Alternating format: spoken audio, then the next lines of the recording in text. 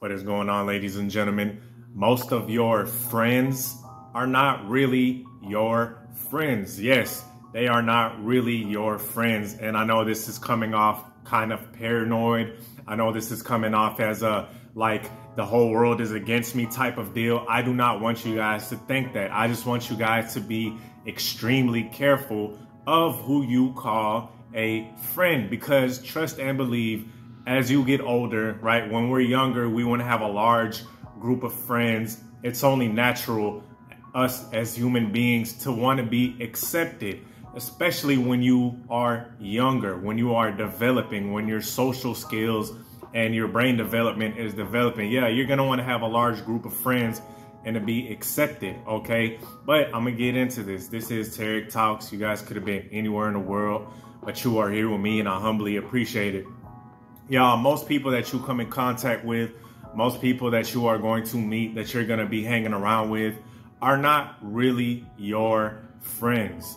They are not really your friends. They are really people in disguise. You understand what I'm saying? Just because you hang out with someone a lot, just because you're around them, just because you go here and there with them, don't think they are your friends. Be extremely careful. And like I said previously in the video, this is not for you guys to be all paranoid. This isn't to mess with your brain and just give everyone a side eye. No, this is to make you careful of who you let in your life and basically to be careful of who you associate with and who you hang around with because a lot of these people mean you no good. I'm just gonna be straight up. This this is a harsh part of the video, but you know, life isn't all rainbows, peaches and cream, roses and happy go lucky. There are a lot of dark aspects to life. There are a lot of harsh realities to life, and this is one of them. This is one of the harsh realities that hey, look, you don't have to take my word for it. Life itself is going to show you as you progress, as you mature most of these people that you hang around with mean you no good. They do not have the best interest. As a matter of fact, they really don't even care about you. They don't care about you because as soon as you leave their presence, guess what? They are going to be talking bad about you. Yes, the people that you hang out with, that you consider your friends and all that bullshit, as soon as you leave their presence, they will be talking about you. I mean, the things that they say about you are dastardly, right? The things that they say about you are despicable. That's how bad it is. But they say that when you leave and you're thinking, damn, these people are my friends, right? Right? big question mark, big, huge question mark. Nah, really, they're not, bro. Um, and this is another thing too the, pe- the people that you call your friends, watch how they talk about their other so-called friends. If you are hanging, let's say you're in a small uh, circle, you know what I mean, a small friend group, and when one person leaves, peep how one of them starts talking about that friend. I'll give you an example. Let's say you hang out with Eddie and Steve, right? So Steve, he's not there, okay? It's just you, Eddie, y'all hanging out together. And then all of a sudden, Eddie starts talking shit about Steve. And not just uh, a little, you know, a little joke here and there, which we all do. I be joking. I be talking my little trash here, you know, joking. You know how fellas, you know what I'm saying? That friendly, you know, friendly joking, friendly competition. No, no, no. I'm not talking about that. I'm talking about talking about this man, Eddie, talking about Steve's just whole personal intimate details that nobody else was even supposed to know. I'm talking about that type of talking trash behind his back. And Eddie is talking just mad crap about Steve. And you over here thinking to yourself, hmm, wait a minute.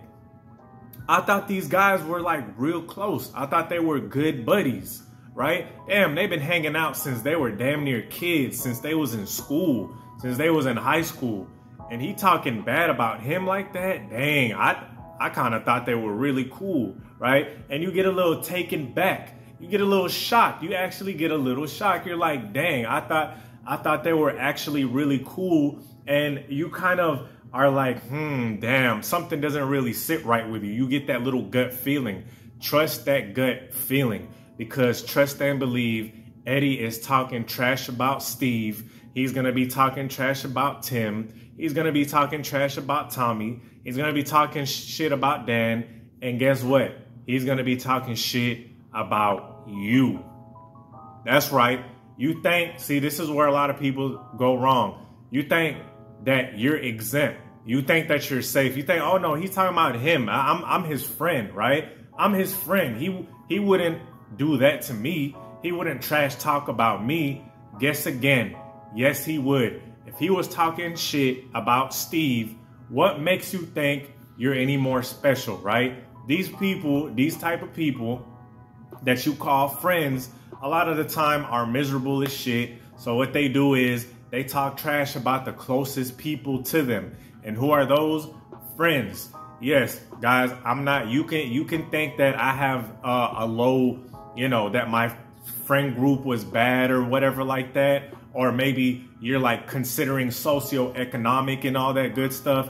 Trust and believe people from the lowest of the depths of society to the most high end, high class, high society do this do this stuff, especially in this in this type of I'm, I'm telling y'all, bro, in this type of environment. Okay, people that you think that are your friends talk trash about you. Never tell your friends anything about your personal life. I don't care how close you think you is. I don't care how much he's your ninja, you know, your ace boon coon, how much he's just a homie, he's your brother, all of that shit. I don't care about any of that. Do not tell him about anything personal because I will tell you what, as soon as this guy gets with some, right, you might have known him for 10 years. As soon as this guy gets with some broad, that he's probably known for only three months. Every little personal thing that you told him in them 10 years of all your intimate friendship and just being brothers and all that good shit, this chick that he's been knowing for three months, this random, random broad, okay, he's gonna tell her all of your life story in one night. He's gonna tell her your whole life story in one night. Everything that you told him, everything that you done effed up in, all of your failures in life, every you know, your relation. I'm telling y'all this from experience. You could believe whatever you want, right? Like I said, from the, from the the depths of disparity of society to the highest of social classes, to the highest of the bourgeois, elite, whatever you want to call it. You feel me? And this is this just runs rampant. I've seen it in jobs. This is what really what you want to talk about red pill. When I was younger, bro, I used to really just care about being accepted and shit like that when I was younger. And unfortunately, this really affects people that are somewhat nice, right? The, the, the nicer you are, the more your friends are gonna, you know, do try to pull fast ones on you and say slick shit and talk behind your back. Not saying to be an a-hole, you should always be generous, right? You should always be generous and be kind. You don't have to associate with no one. Uh, these people, you don't have to be mean to them. You don't have to do any of that. Just cut off all ties, cut off all connections. But back to what I was saying, I bet as as I started noticing a trend where people would just talk shit about their closest friends, and I started experiencing this with my own friends. Right, my own friends talking shit about me. And I'm like, man, you know what? There's really no such thing as friend like that. Okay. I, I hang out with people. Yes, I do. Y'all might see me hanging out with, with folk here and there. That's all fine and dandy. But to be honest with you, I kind of keep my distance like to a point now where, you know, there's this thing where people that barely know you ask for your Instagram, right? I don't like giving out my IG. And I know I put my IG on here for you guys you guys, you know, you only see me on the internet. You don't really know me, like you don't know me in person. And if you do know me in person, that's fine too. But I'm talking about people that, you know, I talk to once or twice or work out with once or twice. They're like, what's your IG, man? Or someone I just meet out and about, what's your IG? I don't like giving it out. Cause I just don't know these people I don't. I, I know these people have the propensity to be conniving and backstabbing, and I know I'm once again I'm sounding paranoid, which, like I said, the world is harsh, bro. I've been I noticed this stuff as I was growing up. That same person that you call your friend, your your A1, A1 day one, as soon as you break up with your old lady, right? Let's say you got an old lady. Let's say you got an old lady that you've been with, baby mama, whatever the case is. As soon as you break up with her, he is going to slide in her DMs and say, Hey, I heard you and Tarik broke up. Are you okay? Do you need to talk? You know that chick that you talking to, right? You know that chick that you are messing with and, and you trying to get a little closer to? Guess what? Your friend is gonna try to backdoor and talk to talk to her when you're not there. Happened to me a couple. I, I can I, I I I know instances where this shit happened to me, bro. And I'm like, dang, I thought we was homies. You feel what I'm saying? Here you is. As soon as I break up with my old lady, right? As soon as I break up with my old lady, you back and trying to slide in, and I've been you know, this this the chick I've been with, and you posted me and my my brother and shit. Like there's principles. But like I said, man, people don't play by the rules. Most people that you meet do not play by the rules. Most people that you meet are not really your friends.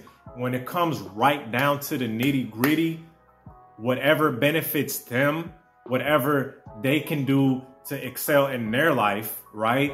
They will do it with no hesitation no hesitation. And then you'll be thinking like nah that's my that's my homie. I, I he would never do that. He would never gossip up he would never tell my my deepest darkest you know secrets or intimate or intimate conversations that i have. He would never tell anyone about that. He he wouldn't. He wouldn't. I think you better reevaluate that right? I cannot harp this enough ladies and gentlemen do not tell your your friends are not obligated to know about your personal life. There is no obligation for them to know about your personal life. Trust and believe they're gonna be pillow talking about that shit when they're laid up or when they're with their other homeboys in the other social circle. They're going to talk shit about you and drag your name through the mud. Okay? And are there some good people out there? Yeah, for sure. There is. Far few in between. Good luck trying to find them. You feel me? Good luck trying to find people that are act that actually are your true friends. So with that being said, man, the moral of the story is just watch out. Watch who you call a friend because a friend, that's a powerful word. Don't be throwing it all willy-nilly. All right? You know, with that being said, I'm out. Peace.